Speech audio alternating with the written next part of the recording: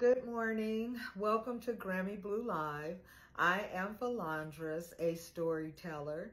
I tell my personal truth along with sharing the Word of God to be used by the Holy Spirit to help set others free. I pray that you follow me on my YouTube channel, Storytime with Grammy Blue.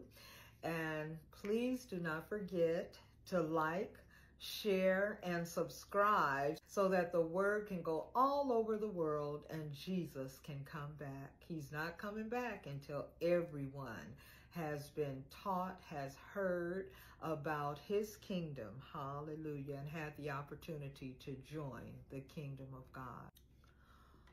On Monday, I had a very off day. I was just not myself all day. And I mm. prayed in the spirit and all day I was praying throughout the day. By the time I went to bed, I could not sleep. I, a spirit of intercession came upon me and I just prayed all through the night.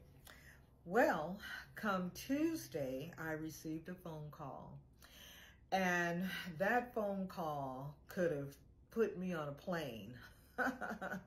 but because I had been praying and um, interceding, then I was not acting in my emotions and the Holy Spirit was able to have his way and all is well. Father God knows the frailness of our bodies. And that's why it's so important for us to know the word of God, for us to have it in our spirits, instant, in season, and out. In the book of Philippians, Father God tells us in order for us to have peace, that we need to meditate on these things. Uh, Philippians 4, 4, it says, Rejoice in the Lord always. Again, I say rejoice. Let your gentleness be known to all men. The Lord is at hand.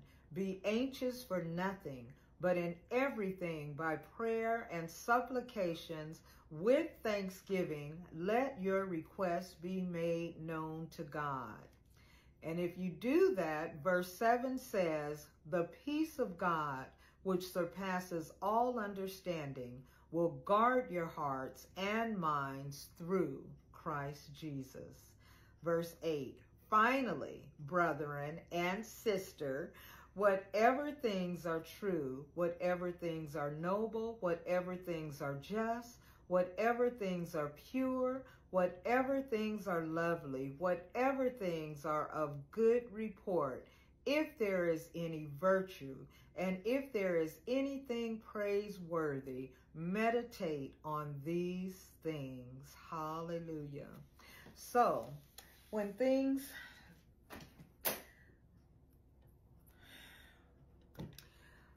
when things start bothering you and um, things come against you in the spirit, then we have to apply God's word. His word is powerful, it's quick, it's sharper than any two-edged sword. And we have to learn how to fight um, Satan, the principalities of the air, spirit beings with the word of God. And if we apply the word of God over our lives, we will have victory every single time. The word of God says that many are called, but few are chosen. For those of you that are chosen, that Father God has given you a platform, you have to remember that every feeling that you experience is not your own. But we become so sensitive in the spirit realm that when those um, that we come in contact with, those of our loved ones, our friends, sometimes we take on their feelings, their emotions when we are praying and standing in the gap for them.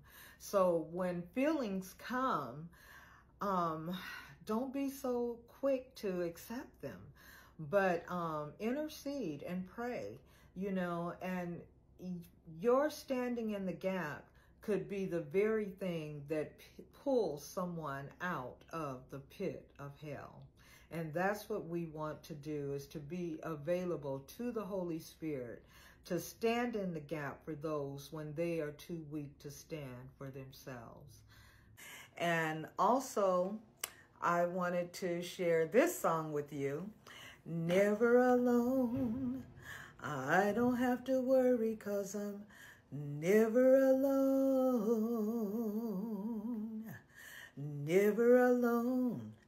I don't have to worry cause I'm never alone. He guides my footsteps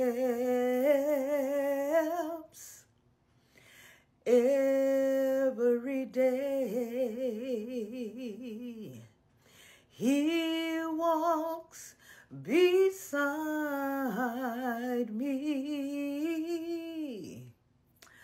all the way.